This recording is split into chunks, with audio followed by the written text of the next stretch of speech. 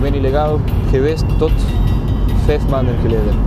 Ik ben pas nu legaal. Ik geloof niet in de illegaliteit. Ik geloof gewoon niet. Ik denk dat dat is een estado mental, hè? is een state of mind. Ik heb gedaan wat ik wilde, wanneer ik wilde en als ik wilde. En elke keer als ik zeg van er is discriminatie, dan zeggen mensen van ja, maar eh, jij zit er veel te gevoelig aan en jij overdrijft. Personeelsfeest van de stad. Ik ben een, ik ben een werknemer van de stad, wij gingen naar het café lokaal. Geweigerd. Hey, gewoon op ons eigen personeelsfeest. Je straalt uit dat je hoe een tijd hebt gehad. En dan, dan zitten de zichtig geworden op den duur, hè, nog tien jaar. En ik ben gewoon eh, transparant geworden.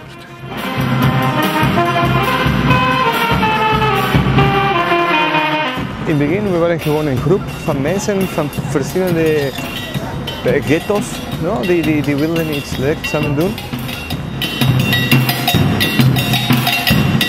We, we zijn begonnen als een voorbeeld van wat een moeder kan zijn.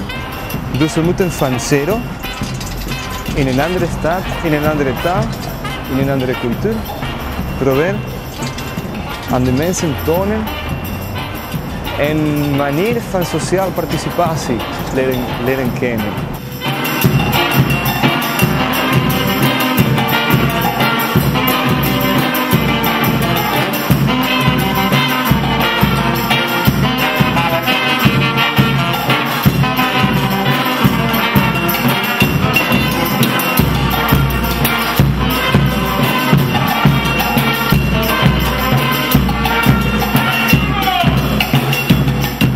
Van oorsprong, Murga, dat komt van de uh, cultuur en ritmes en, muziek dat de slaven van Afrika meegebracht hebben naar, naar uh, el Rio de la Plata.